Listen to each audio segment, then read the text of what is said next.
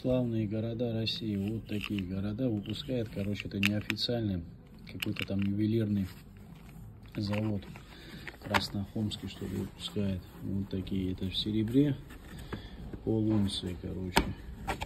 Ну, на самом деле эти монеты, это жетоны, сказать, это жетоны настольные, это не монеты. Здрасте. Стоит, короче, как металл. Чтобы вы понимали, там, в самом страшном сне, там, за штуку тысячу рублей. Это и то, если кому надо. А в принципе, это цена лома. Имейте в виду. Вот все города, какие здесь, смотрите.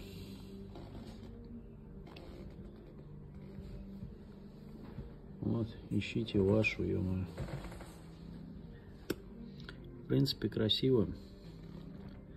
Но не более того. Здесь нумизматики нет, короче говоря.